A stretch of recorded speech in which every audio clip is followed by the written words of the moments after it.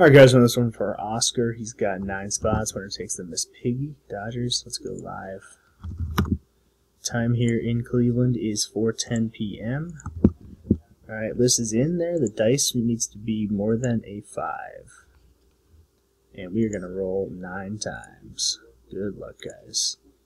There's one, two, three, four, five, six, seven, it's eight times, and the dice roll was nine. Time in Cleveland is 4:11 p.m. Next click your winner. Congratulations to Jamie Zatarain. Spot number eight. You got it. We randomized it nine times. Nine times. We had nine on the dice. Here's a verification code for you guys. And the time in Cleveland is 4:11. We are done.